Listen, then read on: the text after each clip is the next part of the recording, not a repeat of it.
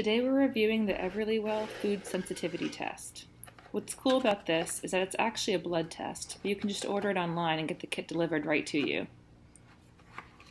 So here we have everything we need to take our blood sample. We have gauze, we have two finger prick lancets, an alcohol prep pad, and a band-aid.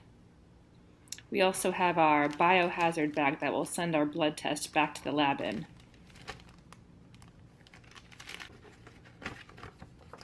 There's also this quick guide on how to take a blood sample for yourself. It's pretty simple, nothing too complicated.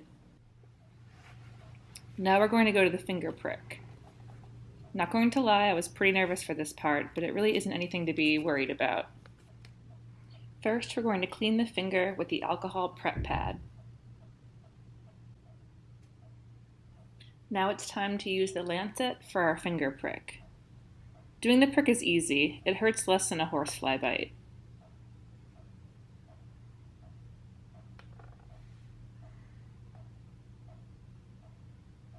I was surprised how quickly blood started dripping out. From there, it's just a matter of dropping a drip of blood into each of the circles. Don't worry about filling the entire circle. That isn't important. You just need one drip per circle.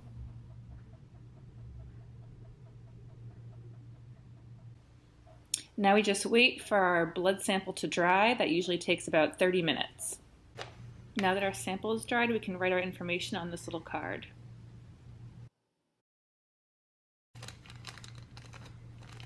Now we need to put the blood sample in the biohazard bag and send it off to the lab.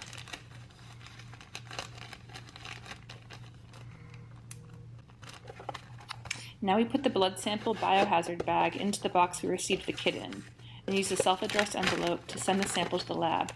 We should get our results in a week or so.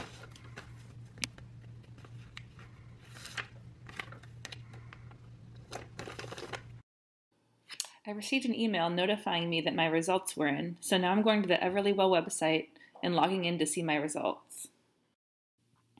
And so here we have the results of my food sensitivity test. Over here I can see that I've been flagged with a low reactivity level for 83 foods and mildly reactive for 13 foods. In this dropdown, I can see exactly what foods I've been flagged as reactive for. I didn't have any moderate or high reactivities, which was a little disappointing to be honest, but obviously that's not a bad thing.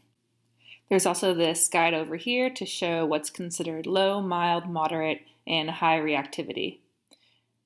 When you click each reactive food, this panel tells you a bit about the food, a bit about what the reactivity level means, and stuff like that. Truthfully, I'd really like to see a little more information here. There isn't much guidance as to whether or not mild or low or reactive foods are worth cutting out of my diet. Even though it says here that this food is flagged for me as a mild reactivity, it's unclear what that actually means in a real world setting if there are certain symptoms associated with low versus mild versus moderate reactivities, that just isn't really clear here. What I really want to know is how likely is it that a mild reactive food could be causing problems for me? What symptoms or issues do other people commonly experience with foods they are mildly reactive to? Is it worth trying to eliminate mild and low reactivity foods? I'm not really seeing any answers to those questions here. At the very least, these foods seem like great contenders to start an elimination diet with. I'm really impressed with the scope of foods I've been tested for. It's pretty cool. Now, one thing I didn't know when I took the test is that you're only tested against foods you've consumed in the last 30 days, since that's roughly the amount of time a given food can be detected in your blood. That was definitely not clear to me when I took the test. It's pretty important that you're aware of that fact because if you're already doing some kind of specialized diet, whether that's paleo, keto, or a whole 30, you won't be tested for the full range of foods that you probably want to be tested for.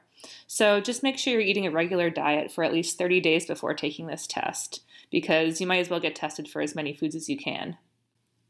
Ultimately, I think the Everlywell food sensitivity test is a pretty neat test.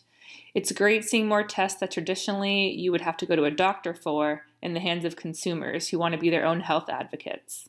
And of course, in many cases, it probably makes sense to take this test to your doctor and work with them to figure out what next steps make sense, especially if you're flagged for some high reactivity items. I do wish there was more information and guidance regarding what the reactivity levels mean. That really isn't clear with the information currently provided on the website. If you're wondering about your food sensitivities, this Everlywell test is definitely a great start. It's pretty cool to see this big list of foods that could potentially be causing you problems. I can see this being an especially nice complement to people doing the Whole 30 diet since it provides additional guidance about what foods to look out for. If you do decide to give the Everlywell food sensitivity test a try, make sure to use the code LifeHealthHQ for 15% off. I'd also recommend checking out the Everlywell community Facebook group once you've received your results. It's really helpful to jump in there and compare your results with other individuals and see what their experiences have been. There are also some helpful moderators who are pretty great at helping me understand my results better. Have you ever taken the Everlywell food sensitivity test? If so, please share your experience in the comments. We'd love to hear from you.